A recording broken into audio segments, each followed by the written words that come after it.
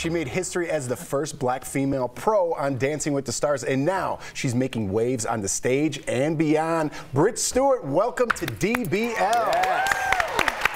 Hi, everybody. Thank you for having me. Hey. Oh, we're so excited to have you, Britt. Now, we want to start by saying we were so sad to see you go. Were you surprised to be sent home? Oh, you know, Dancing with the Stars is always unpredictable. It's a reality show. You never really know what to expect and who will get eliminated. I will say that I am sad. It seemed like Adrian was really growing in his dance journey, and right when everything started to click, we got eliminated. So, yes, sad, but it's always unpredictable.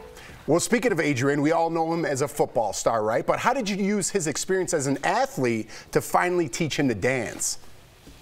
This was my first experience with a pro football player as a partner on DWTS, and really, I used his work ethic from his years of NFL training and experience, I could really use that hard work and being able to be, you know, really have repetition. And now you're seeing here, I got to do some football drills with him that really helped with his Ooh. quick feet during our quick step. And I got to do some football drills with the greatest running back of all time. So I can say that I've done that now. And that was great technique. I, I was just about yeah, to that say, was that was like unbelievable. Yeah. That was really good. Britt, you and your boyfriend actor Daniel Durant are so adorable, and we have to know how did your connection on stage turn into a relationship?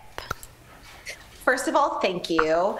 Um, really, my partnership with Daniel last season was something really special. We both knew that we had chemistry, but it started as teammates that turned into best friends. And at the end of the season, I think we both just looked at each other, realized that we weren't going to spend every day with with one another, and then we told each other that we liked each other and started dating after the show. So it was a very organic um, way of transitioning into a relationship. Ah, I love your love. Now, this is the sweetest story. You actually learned sign language to communicate with Daniel. So were there any unique challenges to teaching him to dance um, due to him being deaf? You're right. I learned ASL. I remember first meeting Daniel on our first meet on Dancing with the Stars, and I barely knew the alphabet. Everything that I've learned is from Daniel and being completely submersed into the deaf community and deaf culture. And for him, Daniel has this extreme ability to feel rhythm and to feel music without having any concept of sound. So I will say that I got really lucky to have Daniel as my partner.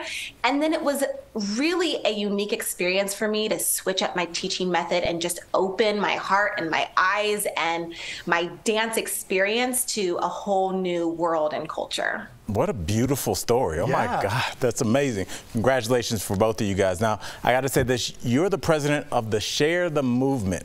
Uh, it's an organization aimed at diversifying professional dance. So, how are you hoping to change the dance world? Thank you for mentioning Share the Movement because I am so passionate about diversity, equity, and representation. And, you know, I take my role as being the first and only Black female pro on Dancing with the Stars very seriously. And I want to take my opportunity and give it back to younger generations. And so we really start with the root, the foundation of young BIPOC kids that aspire to be dancers, that there will be no li- limitations, that we can continue to break barriers. And my hope for dance as a whole, that it will become more colorful and that more people will have access to go beyond dance, to become directors and choreographers and producers and really lead dance and arts.